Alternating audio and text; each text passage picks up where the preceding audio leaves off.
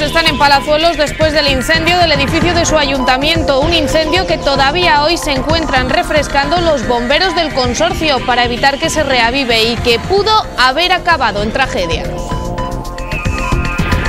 Muy buenas tardes. Les decimos que podía haber acabado en tragedia porque una mujer se encontraba dormida en el interior de una de las viviendas del edificio que se ha quemado totalmente hasta que fueron a avisarla. Un equipo de Televisión Guadalajara se ha desplazado hasta Palazuelos para hablar con sus vecinos y ver cómo se encuentran. Desde luego, todos tienen todavía el susto en el cuerpo. Se lo vamos a mostrar dentro de unos instantes, pero antes vamos a repasar otros asuntos de actualidad. Una actualidad que está marcada por la visita del consejero de Sanidad y Asuntos Sociales, José Ignacio Chaniz, al Hospital de Guadalajara. Concretamente, ha estado visitando la puesta en marcha de unas renovadas instalaciones de su centro de día dentro del Departamento de Alergología. Y también vamos a repasar la página deportiva en uno de esos días en los que, como siempre decimos, José Virgilio, nos encontramos justo en el Ecuador de la semana. En el Ecuador de la semana y el día que precisamente ha elegido el Deportivo Guadalajara después de descansar ayer para retornar a los entrenamientos en una fría mañana en los anexos del Pedro Escartín. Los de Carlos Pérez Salvachúa ya preparan su próxima cita liguera. Será el domingo a las 12 de la mañana en Tudela frente al Tudelano. Todos están ok, menos Rubén Arroyo, que sigue con molestias en su gemelo. Además, hoy ha hablado uno de los protagonistas de la semana, Chema Mato, que ha dejado varios titulares que escucharemos. Y el rival, lo hemos dicho, es el Tudelano, contra el que ya jugó en la primera vuelta al Deport, le ganó 1-0, y contra quien también jugó un playoff de ascenso a Segunda B y le eliminó el Club Deportivo Azuqueca. Y quien está lanzado es el Briguega. A día de hoy, después de dos victorias consecutivas en este 2015, tiene a tiro de tres el ascenso directo. Perdía el Motorsan Guadalajara de la Superliga 2, pero su jugadora Mónica Jovanovic de nuevo era destacada. Sus 30 puntos la hacían entrar en el sexteto ideal de la liga. De todo ello hablaremos, como siempre, en un ratito tiempo de deportes. Gracias, José luego. Hasta ahora, nosotros seguimos repasando otros temas de actualidad y lo hacemos, como siempre, a través de titulares. Después de las imágenes que les mostrábamos ayer del kamikaze de la A2, hemos querido hablar con Julio Estables para que nos explique qué tenemos que hacer si nos encontramos con uno de ellos. También vamos a contarles que Izquierda Unida y Ganemos Guadalajara se presentarán en coalición para tratar de ganar la alcaldía de Guadalajara. Así lo ha confirmado José Luis Maximiliano. Estén muy atentos a lo largo del informativo porque les vamos a contar en qué calle se va a cortar el agua mañana. Y el Ayuntamiento de Azuqueca de ha firmado un convenio de colaboración con seis asociaciones que trabajan en su municipio. A lo largo del informativo les daremos todos los detalles.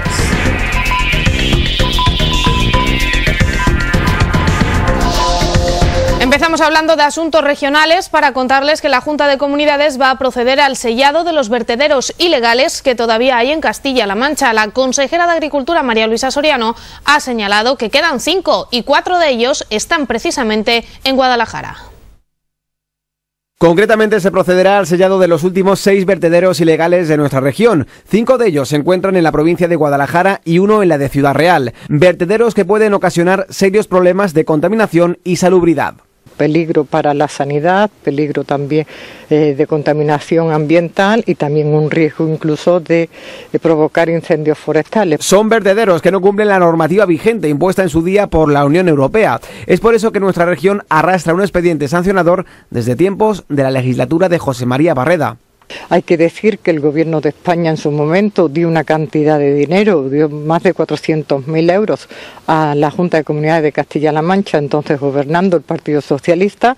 Este dinero no se utilizó para sellar estos vertederos, con lo cual cuando nosotros hemos llegado al gobierno, pues al no utilizarse el dinero para el fin que estaba previsto, tuvimos que devolver ese dinero al Ministerio porque así lo reclamaron y además tenemos ese expediente abierto de la Unión Europea. Desde el gobierno regional se trabaja ahora contra reloj para cerrar los últimos vertederos de la comunidad antes del verano y evitar la sanción de la Unión Europea. Universitario de Guadalajara ha puesto en marcha unas renovadas instalaciones en su centro de día del Departamento de Alergología.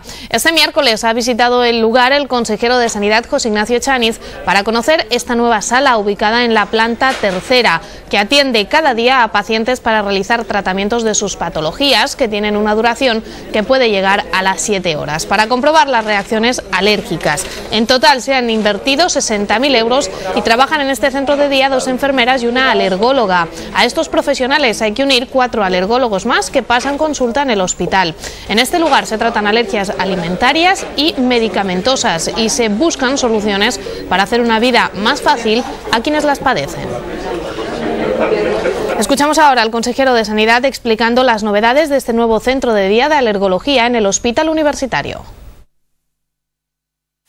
estas nuevas instalaciones del Hospital de Día de Alergia, una demanda histórica del servicio de alergia del hospital que afortunadamente, pues eh, gracias a cómo van las cosas, pues hemos podido cumplir, gracias al trabajo de la gerencia y todos los responsables del hospital para, mejorar la calidad asistencial de, la sanidad pública de Guadalajara. Estas instalaciones, pues, eh, más que duplican las anteriores que estaban en la primera planta del hospital, eh, y creo que los pacientes pues, pues, eh, pueden percibir de una forma muy directa, también todos los profesionales, los cinco, los cinco alergólogos, eh, los profesionales de enfermería, los auxiliares, los administrativos, que ha mejorado su capacidad también profesional de prestar este magnífico servicio que realizan a los pacientes, tanto en los estudios de, pruebas de diagnóstico de, las distintas alergias medicamentosas o, alimentarias, como de los distintos tratamientos que, se producen en el, hospital y que, permiten pues, conocer perfectamente las alergias de nuestros pacientes y los distintos tratamientos que se, La jefa de servicio del Departamento de Alergología, Arancha Vega, ha detallado a los medios de comunicación algunos tratamientos que ahora pueden realizarse gracias a estas nuevas instalaciones. Aquí hacemos eh, estudios diagnósticos y hacemos tratamientos. Hacemos estudios de diagnóstico de alergia a medicamentos y de alergia a alimentos. Es decir, pacientes que hay una sospecha de que puedan tener una alergia a un determinado medicamento o pacientes con sospecha de alergia a un alimento o que son alérgicos a un alimento y queremos comprobar si han dejado de serlo pues eh, se hacen lo que se llaman las pruebas de provocación o pruebas de exposición. Eh, son pruebas que se realizan a lo largo de varias horas, se empieza con unas dosis muy bajas y se van mm, aumentando las dosis hasta llegar a una, dosis, a una ración normal en caso de un alimento o a una dosis terapéutica en caso de un medicamento. También se, se administran tratamientos, se administra la inmunoterapia, que reciben los pacientes. Esos pacientes son los que menos tiempo están porque están entre media hora y hora y media más o menos. Y también hacemos eh, tratamientos de desensibilizaciones, tanto de alimentos como de medicamentos. Por ejemplo, tenemos hoy una desensibilización eh, a quimioterápicos, es decir, una persona que es alérgica a un quimioterápico que lo necesita como tratamiento curativo de primera línea, pues nosotros se lo logramos administrar de una manera muy determinada, con lo cual conseguimos que el alérgico a un medicamento lo pueda tomar para resolver su problema de salud. Cambiamos de asunto para contarles los principales acuerdos adoptados en el último Consejo de Ministros. Uno de los asuntos que salió adelante fueron las nuevas medidas para seguir fomentando la generación de empleo. La senadora popular Ana González recuerda los buenos datos de 2014 y asegura que habrá más dinero y mejores recursos para seguir luchando contra el paro. El 2014 ha sido el año de la recuperación del empleo. Después de eh, muchos años seguidos de destrucción, eh, se han creado 1.600 empleos cada día en el 2014 y creemos que esto es eh, una gran noticia. Para seguir activando el empleo, se ha creado esta cartera común de servicios, donde lo que se pretende es que cualquier ciudadano de cualquier provincia, de cualquier comunidad autónoma, tenga la, igualdad, eh, la misma igualdad de oportunidades de acceder al empleo. Por eso habrá un marco común en todas las comunidades eh, autónomas con las medidas que se tienen que llevar a cabo por los distintos servicios de empleo y además se va a hacer un itinerario personalizado para favorecer el que las personas eh, puedan encontrar eh, su empleo. Se va a hacer hincapié en la orientación profesional, como les decía, a través de un perfil individualizado y eh, además se harán em, y se desarrollarán labores de intermediación con las empresas, de formación y de asesoramiento. Como les decía, la partida presupuestaria en este aspecto para la activación del empleo sube un 16,8% respecto al 2014. El 43% se va a dedicar a acciones formativas y el 31,5% a las bonificaciones a la contratación de desempleados con más dificultades para incorporarse al mercado laboral. 260 millones de euros se van a dedicar a los colectivos especialmente vulnerables o en riesgo de exclusión y 251 millones a la orientación laboral. 110 millones a la colaboración con las agencias privadas de colocación y 100 millones para modernizar los servicios de empleo. Y es que aseguran a González, el Partido Popular lo tiene claro y seguirá trabajando en la misma línea. La senadora del Partido Popular está segura de que se está generando más seguridad y confianza.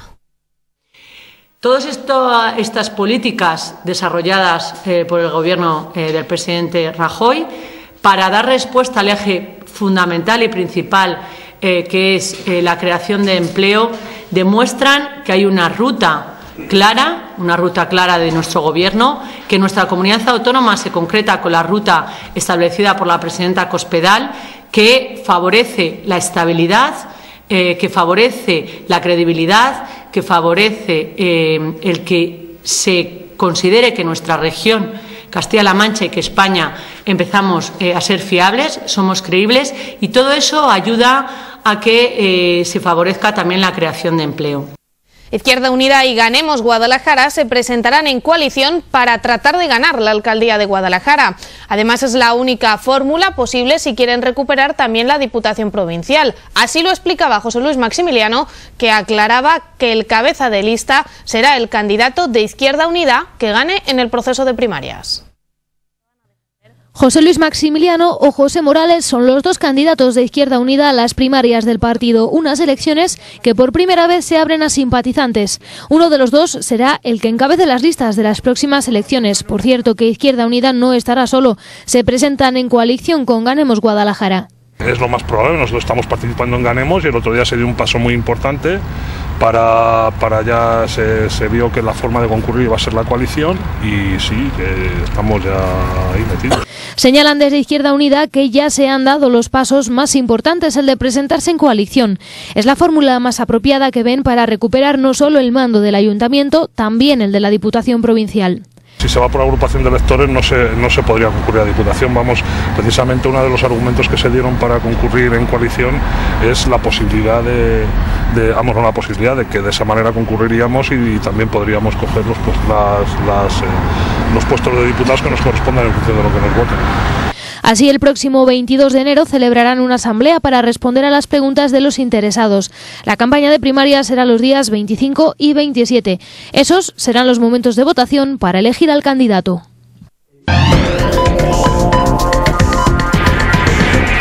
Y vamos con la noticia del día. El incendio que se originaba ayer en el ayuntamiento de Palazuelos ha acabado con todo el edificio. Las llamas han hecho desaparecer el, el consultorio perdón, local, salas del ayuntamiento, un bar y tres viviendas. Por suerte no ha habido daños personales porque si no se llega a dar la voz de alarma una persona podría haber perdido la vida. Hasta el lugar de los hechos hemos desplazado a un equipo de Televisión Guadalajara. Nos lo va a contar nuestra compañera María Gil. Los vecinos de Palazuelos todavía hoy no salen de su asombro y no es para menos porque han perdido todo. El ayuntamiento, el consultorio local, un bar y tres viviendas. Fue gracias a un joven del municipio que dio la voz de alarma y gracias a ello se pudo salvar la vida de una persona que estaba durmiendo en su casa. Palazuelos es una pedanía de Sigüenza en la que habitan pocas personas. Por este motivo fue clave la voz de aviso que dio el propio hijo del alcalde pedáneo cuando se iba al colegio. Como cualquier mañana, todos empezaron su rutina, aunque por desgracia ese 20 de enero fue muy diferente. Yo me había ido a las 7 de la mañana a trabajar y luego mi hijo cuando se fue al colegio, pues vio que salía humo y llamó a mi mujer. Y llamó a los bomberos y todo fue eso, lo que se ve. Eso como la pólvora ardió, todo el edificio de madera y paja. Los vecinos que fueron testigos de cómo se desencadenaban los hechos hoy siguen recordando los momentos vividos en el día anterior. Todo sucedía en cuestión de minutos. Yo llamé al 112 a las 9 menos, menos algo y y a las 9 y 4 ya me contestó el 112 y ya se les explicó por dónde tenían que entrar y todo. Y es que cuando estábamos hablando con los bomberos, que fueron nada, minutos, solo salía humo y fue cuando llegaron ellos, eh, ya empezó todo, llamas, llamas, llamas y fue imposible, imposible. Con lo cual pues ha sido imposible salvar nada, pero nada de nada. Hoy el resultado es este que están viendo todo completamente destrozado, aunque por suerte no ha habido que lamentar daños personales. La situación pudo haber sido mucho más trágica, puesto que en una de las viviendas se encontraba una vecina durmiendo. Eh, la que vive en una casa trabaja por la noche y estaba durmiendo. O sea que fue mi mujer la que la llamó para que saliese. Aunque ha perdido todo, pudo salir a tiempo y ahora está con unos familiares. Sí, sí, está en casa de un familiar y totalmente arropada por todos los vecinos porque es que no ha perdido todo, ha perdido todo. Y la verdad que es una gran amiga y, y me duele mucho, me duele mucho. Totalmente conmocionados, tanto los que han perdido sus casas como el resto de vecinos siguen preguntándose qué pudo pasar. La causa del incendio se desconoce y las llamas han arrasado con el punto de encuentro de los vecinos. Se ha perdido el ayuntamiento, salones culturales, el centro médico y bar. Todo ayuntamientos, salones, reuniones, o sea, eh, donde el pueblo se juntaba. Lo que más les preocupa es volver a tener un espacio para reubicar temporalmente el consultorio local. Ya están trabajando en ello, aunque no les es nada fácil, puesto que aún se sobreponen del tremendo susto. Tremendo, tremendo. No sabíamos ni lo que hacer, los nervios, la impotencia, todo. Bueno, desde aquí quiero, agradecer al Ayuntamiento de Sigüenza toda su ayuda y a los bomberos, sobre todo, que se portaron como verdaderos profesionales, ¿eh? de verdad. Nos intentaban calmar de, dentro de la manera de, vamos, de de muchas maneras, pero es imposible, es imposible. No nos imaginábamos que pudiese ir tan, tan rápido como fue. Todavía hoy se podían ver maderas ardiendo y los bomberos se siguen acercando hasta el lugar para refrescar la zona. Hoy desde Guadalajara Capital, los medios de comunicación hemos querido conocer la opinión de la presidenta de la Diputación sobre lo que se va a hacer para poder ayudar a este municipio de Palazuelos. Ana Guarinos asegura que la institución está desde primera hora de ayer pendiente de, lo que se pueda de que se pueda recuperar la normalidad en esta pedanía de Sigüenza lo antes posible. Una de las prioridades, asegura, es recuperar un lugar donde poder eh, centrar el centro de salud, poder habilitar un espacio para que se pueda pasar consulta. En Palazuelos lo que sucedió es que hubo un desgraciado incendio en el día de ayer y a pesar de la inmediatez con la que actúan no solamente el Parque de Bomberos de Sigüenza, con una dotación de refuerzo, sino también el Parque de Bomberos de Azuqueca, eh, pues bueno, las consecuencias han sido pues, que se ha quemado prácticamente todo un edificio que albergaba el ayuntamiento, eh, que albergaba también una serie de viviendas y que albergaba, en este caso, el consultorio médico. A partir de este momento, pues mire, lo más prioritario es que todo esto vuelva a su normalidad y, desde luego, que se, pueda, eh, que se puedan barajar alternativas o soluciones, en este caso, primero para desescombrar todo eso, porque lógicamente hay mucho que desescombrar, eh, y segundo, para que, bueno, para que todo ese edificio, por lo menos lo más básico y lo que más urja, pueda volver a la, normalidad. Y en este caso me estoy refiriendo, por ejemplo, al tema del consultorio médico, que al final se tendrá que habilitar algún sitio o se tendrán que dar soluciones. Además, Ana Guarinos ha querido aprovechar para recordar que la Diputación siempre está al lado de todos los pueblos cuando estos la necesitan. Así ha actuado siempre ante cualquier problema porque esa, dice la presidenta de la Diputación, es su razón de ser. Yo eh, tengo que decir en este caso eh, que bueno que yo he estado ya en contacto eh, con el alcalde de Sigüenza, que también hemos puesto a disposición pues, los medios de la Diputación en todo lo que le podamos ayudar y que bueno que estamos ante una situación extraordinaria en la que por supuesto también va a contar, como no puede ser de otra manera, con la colaboración de la Diputación Provincial de Guadalajara. Fíjense si es que lo hemos hecho siempre, es decir, independientemente de cuál haya sido el municipio en el que se haya producido el problema, y digo independientemente, siempre que ha habido una urgencia o siempre que ha habido una emergencia, la Diputación ha salido el paso. Me da igual que haya sido de agua, me da igual que haya sido de robo de tendido eléctrico, me da igual que haya sido, insisto, en este caso de un incendio. Es decir, y vamos a seguir haciéndolo, porque esa es la razón de ser que tiene la Diputación y porque si no la Diputación pues eh, serviría para otra cosa, ¿no? Pero no para atender y para asistir a los municipios. Cambiamos ahora de asunto y vamos a hablar de sucesos, pero de otro tipo. Nos vamos a volver a las carreteras de la provincia de Guadalajara, concretamente a la A2, porque estas que están viendo son las imágenes del accidente que ocurrió ayer en la A2, momento en el que un camión eh, impedía la circulación del resto de vehículos al cruzarse literalmente, como han visto hace unos momentos. Las retenciones que se producían en la A2 eran tremendas.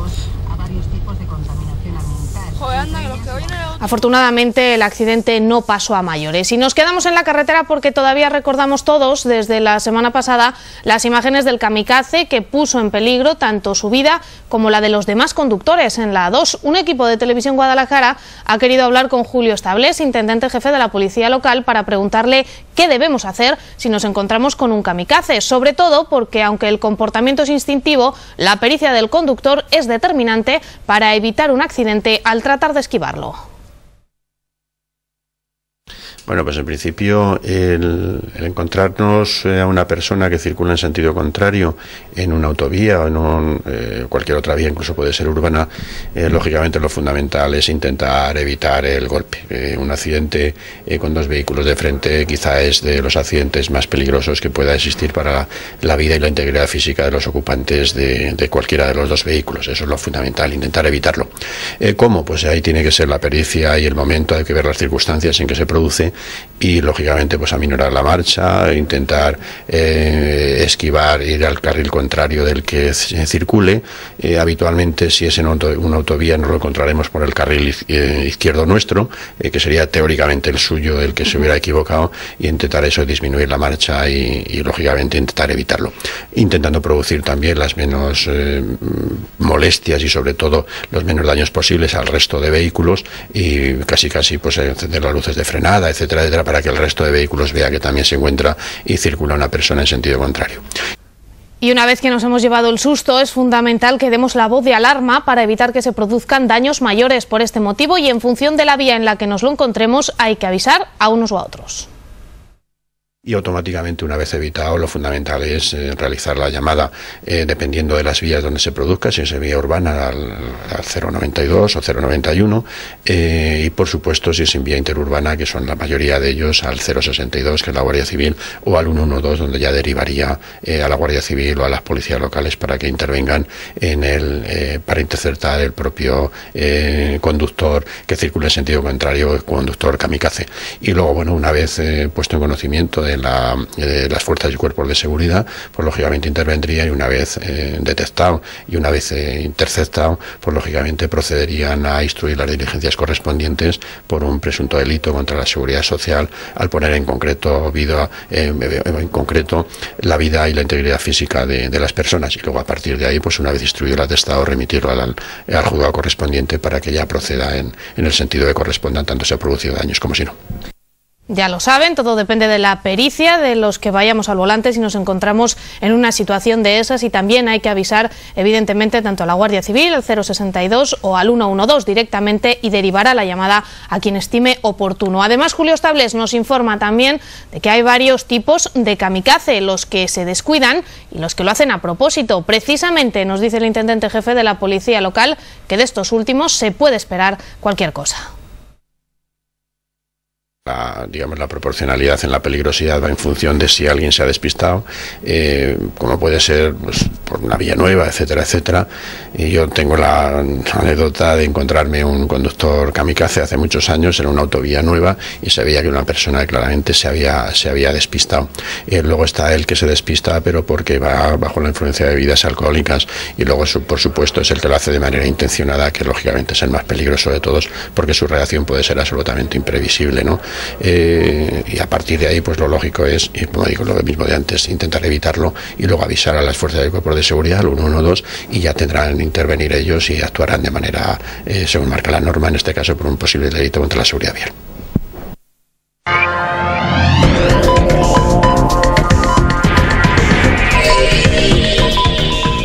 Atención, les contamos ahora que Guadalagua informa que se va a proceder al corte en el suministro de agua por obras de remodelación urbana en las calles que están viendo en sus pantallas. Calle Albarfáñez de Minaya, en los números pares del 12 al 18 y en los impares del 15 al 31. En la calle San Juan de Dios, en los números pares del 10 al 20 y en los impares del 13 al 17. En la plaza de Dávalos, número 4 y en la plaza de San Antonio, número 1. El corte va a ser mañana desde las 9 de la mañana hasta las 2 de la tarde, momento en el que se restablecerá el suministro. Cambiamos de asunto para contarles que la Diputación Provincial ha presentado este miércoles las cifras de servicio de asistencia al municipio, un servicio que asesora a los municipios más pequeños de la provincia. El servicio de atención al municipio da atención a los pueblos de menor capacidad económica y de gestión de nuestra provincia. La presidenta de Diputación y el diputado responsable del área han ofrecido los datos de atenciones realizadas en 2014 ha elaborado más de medio millar de informes en distintas áreas. Han sido miles las consultas verbales que se han atendido, ha confeccionado presupuestos y contabilidades, remitiendo documentos o liquidaciones o cuentas generales tanto a Hacienda como al propio Tribunal de Cuentas. Otra de las atenciones que ofrece Diputación dentro de este servicio y que más demanda tienen en la actualidad es el de arquitectura.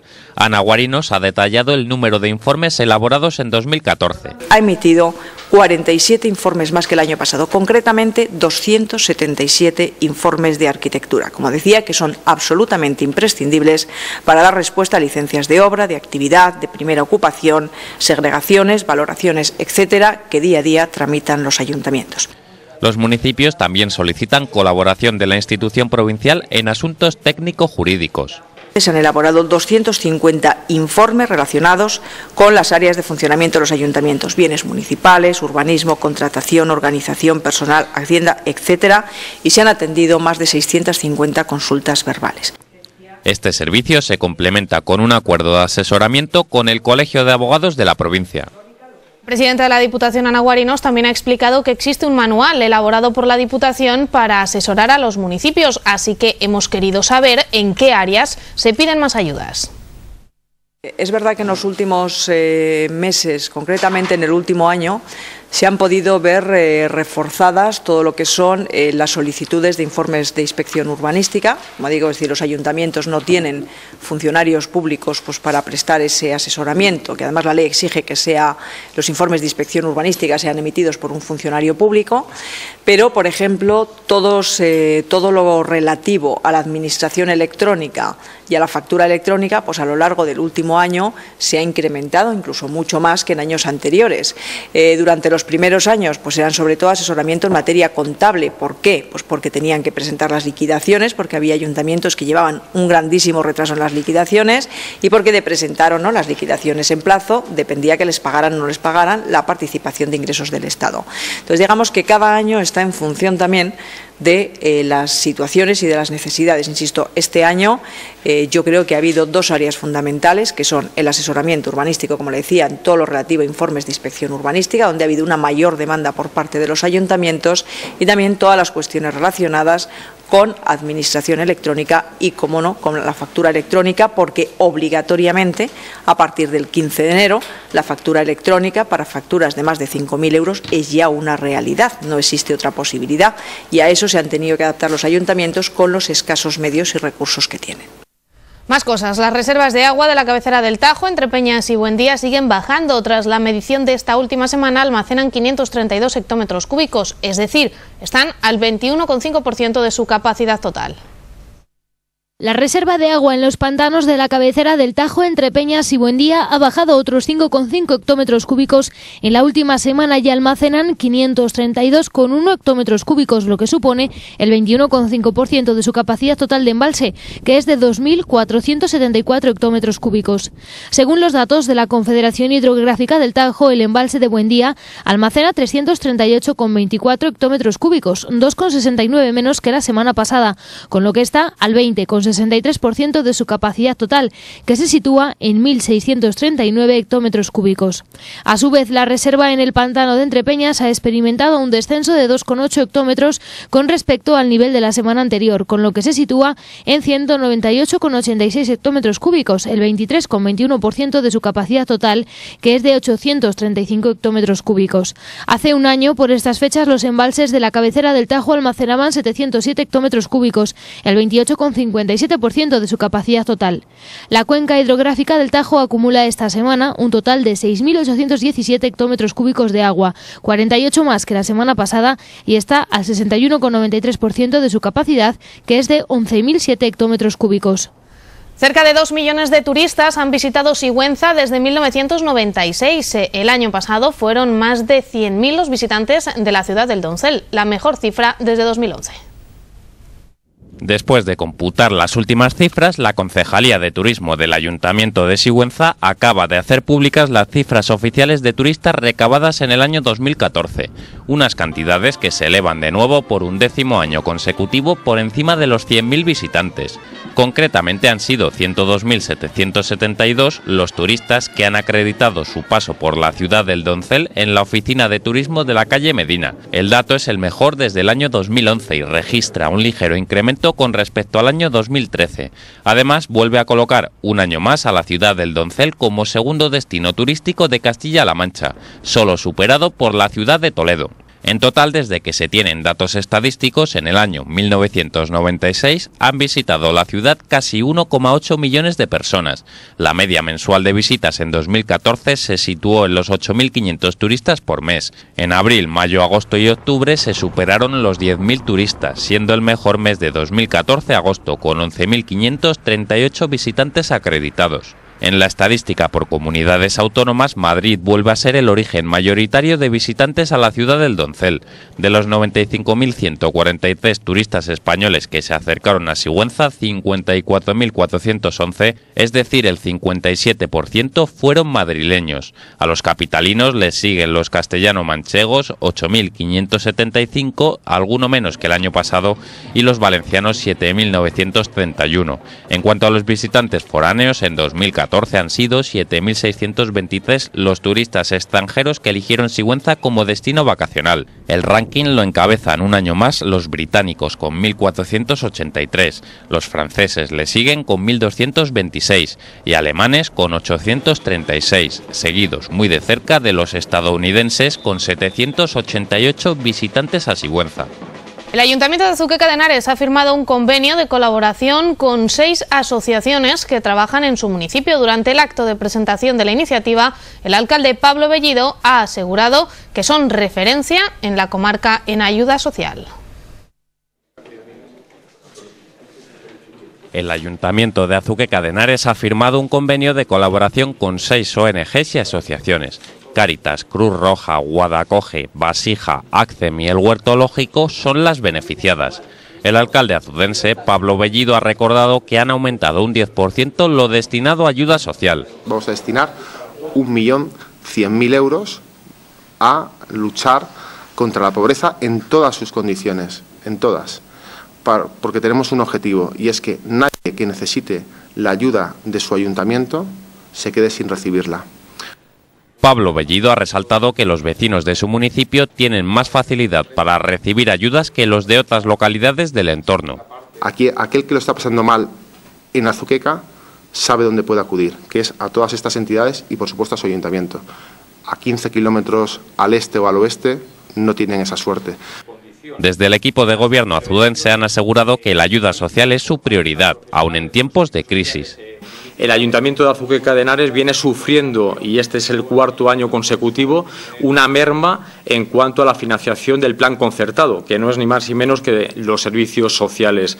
Y a pesar de no tener competencias en la materia, a pesar de no ser una responsabilidad del Ayuntamiento directa, eh, desde luego que nos preocupa la situación que muchas personas, muchos vecinos están pasando. Las seis entidades beneficiadas se han mostrado agradecidas por el apoyo del consistorio azudense. Además, han asegurado que es importante trabajar en común para optimizar los recursos. Nos exige y nos obliga a trabajar todos juntos en una clave de partenariado, en una clave de coordinación abierta, en una clave en la que optimicemos todos nuestras posibilidades. Y este es el esfuerzo que todos tenemos que hacer a todos los niveles, desde un nivel europeo, desde un nivel estatal, de un nivel regional, de un nivel provincial, de un nivel local. Y desde ahí yo creo que ese es el mejor camino para salir de la pobreza y de la exclusión social.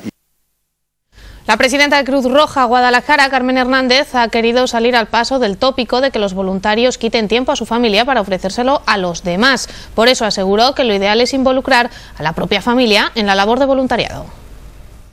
Los voluntarios están haciendo algo muy importante y es incluirse de manera activa y participativa con, con sus conciudadanos. Y reciben además la gratificación de, muchos de los, os puedo asegurar, de muchos de los usuarios y usuarias y aparte de esto, también decir que, ellos ese aspecto inclusivo también lo hacen a nivel personal y a nivel familiar, porque bien organizados y cuando uno tiene esta, esta, esta eh, voluntad, ¿eh? voluntariado, esta voluntad, todo cabe y cabe muy bien y es mucho más satisfactorio a nivel personal y ciudadano. Y un asunto más sobre Azuqueca de Henares, pero en clave cultural. Nuestros compañeros de Azuqueca Televisión nos dan todos los detalles de las distintas exposiciones que se pueden disfrutar en estos días. Este fin de semana las exposiciones han sido uno de los acontecimientos culturales de la villa azudense. La primera, una de esas que no dejan indiferente, pues la sala de actos de la Casa de la Cultura se llenó con más de 150 geocondas de 150 estilos y formatos distintos. El famoso cuadro de Leonardo, realizado ya por el año 1517, ha sido representado por más de un millar de artistas modernos de 50 países, de los cuales 100 se han seleccionado para representar esta exposición de Gioconda Project, la Mona Lisa representada por artistas internacionales. Incluso el graffiti realizado por el grafitero Lohan ha tenido un puesto de honor en esta exposición, donde una Gioconda gatuna ocupaba un lugar destacado. La muestra se ha completado con Víctor Isaac Centeno, estudiante del grado de Historia de Arte de la UNED y vecino de Azuqueca, que ha ofrecido una charla en la sala de conferencias bajo el título Creación y evolución de la Gioconda en la historia de la pintura y la humanidad que ha servido para completar esta exposición que puede verse hasta el próximo 29 de enero. Por otra parte, el Quijote ha llegado a Zugueca en la exposición Los Caminos del Quijote, que de la mano de la Asociación de Artistas Plásticos La Cigüeña de Alcalá de Henares representan distintos pasajes de la obra de Cervantes. Lienzos, esculturas que han sido realizados por 53 artistas en distintos estilos y técnicas y que pueden verse hasta el 31 de enero en el Centro de Ocio Río Henares. Y antes de terminar, nos vamos a ver la previsión meteorológica para los próximos días. Música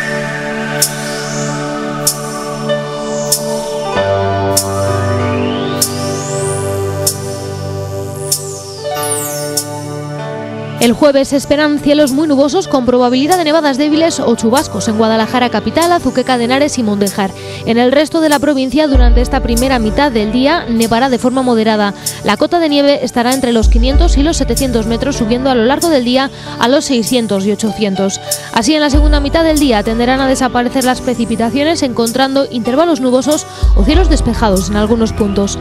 En cuanto a las temperaturas se mantiene la alerta amarilla por bajas temperaturas y por nevadas. Las máximas estarán en ligero ascenso alcanzando los 8 grados en el entorno de la capital y las mínimas alcanzarán los menos 6 grados en puntos como Cantalojas o Peralejos de las Truchas. En Guadalajara tendremos una máxima de 7 grados y una mínima de menos 2. En Atienza habrá una máxima de 3 grados y una mínima de menos 2. Sigüenza tendrá una máxima de 3 grados y una mínima de menos 2. Molina de Aragón tendrá una máxima de 3 grados y una mínima de menos 3. Y Mondejar tendrá una máxima de 7 grados y una mínima de menos 3. Los vientos serán de dirección oeste y noroeste entre 15 y 25 km por hora.